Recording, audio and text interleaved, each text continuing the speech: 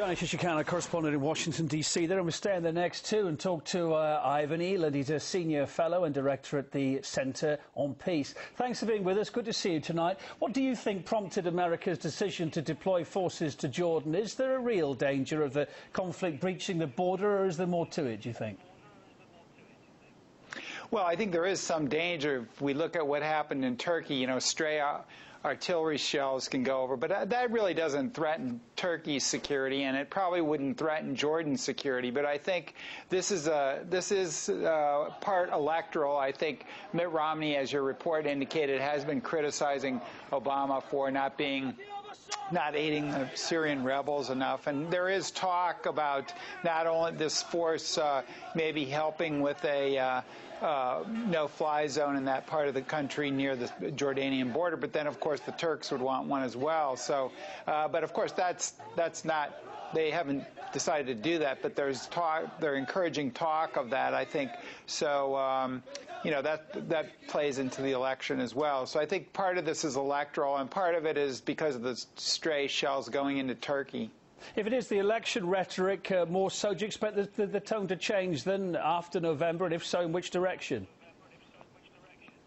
Well, I think uh, after the election is over, of course, uh, Obama has been scared of the risk. You don't want to necessarily, unless you're way behind an election in, in the U.S., you don't want to start a war.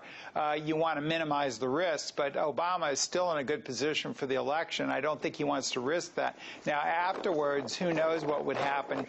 Uh, he may be less uh, resistant to um, to going in simply because he has he's already been reelected. On the other hand, he may not feel uh, that he has to uh, be tough enough to to uh, meet Romney's criticisms. So it could go either way. It depends on on his uh, his uh, inclination after the election. But I think at any rate, he has, he has much more flexibility after the election than before it. Will this posting of troops on the border of Jordan have any tangible effect on what's actually going on within Syria itself and the internal fighting there, or not? You think? Well, I don't think too much. They're there under the mask of helping refugees, but they're also on guard for any use of chemical weapons. And also, uh, you know, if, the, if uh, things get really bad in Syria and the chemical weapons are not secure, perhaps they would do a raid or something to, to safeguard those.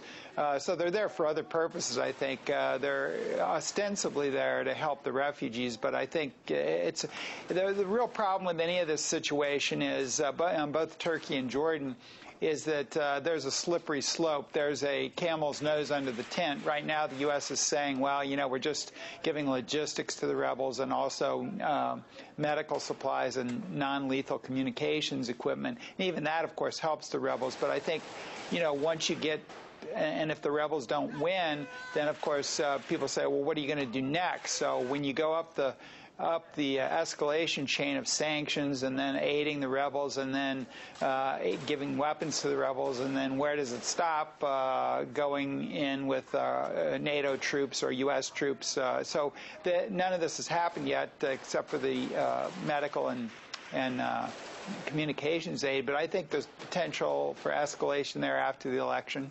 Okay, Ivan, uh, we'll be covering it closely. Thanks for your thoughts tonight. Ivan Eland, Senior Fellow and Director of the uh, Centre on Peace Life.